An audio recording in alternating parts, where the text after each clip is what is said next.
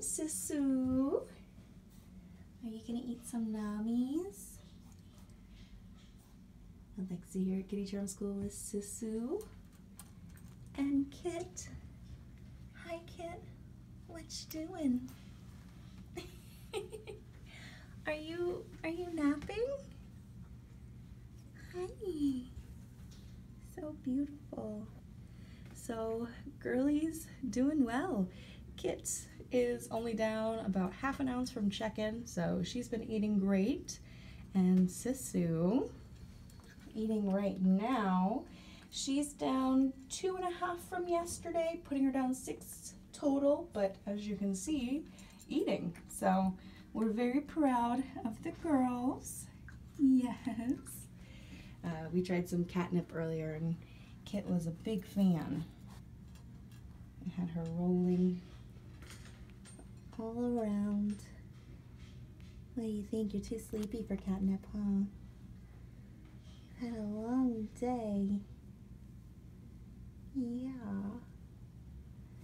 So, yeah, we're very proud of the ladies. And uh, just since she is down six and only just starting to eat her food, we will give her a little bit more of the dry bribes tonight. Just an eighth cup each of the Fancy Feast and the Gastro. And that should get her back up in weight or maintaining.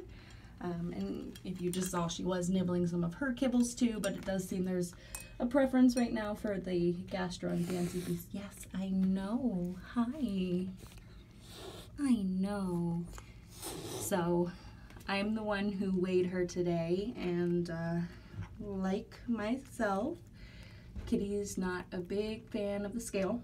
So she's a little hesitant and hissy from that, but still very sweet.